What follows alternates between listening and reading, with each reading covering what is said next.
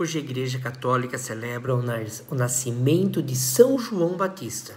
São João, aquele que batizava no deserto. São João, o precursor, o último dos profetas. São João Batista era primo de Jesus Cristo.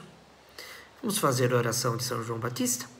Ó glorioso São João Batista, príncipe dos profetas, precursor do divino Redentor, primogênito da graça de Jesus e da intercessão de Sua Santíssima Mãe que fosses grande diante do Senhor, pelos estupendos dons da graça de que fosses maravilhosamente enriquecido desde o seio materno. E por vossas admiráveis virtudes, alcançai-me de Jesus, ardentemente vos suplico que me dê a, graça de o amar e servir com extremado afeto e dedicação até a morte.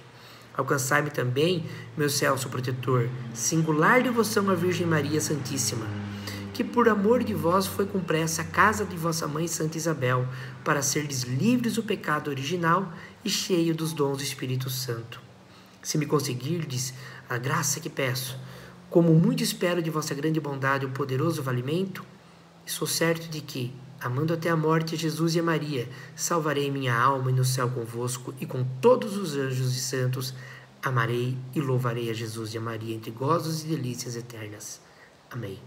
São João Batista, rogai por nós que recorremos a vós.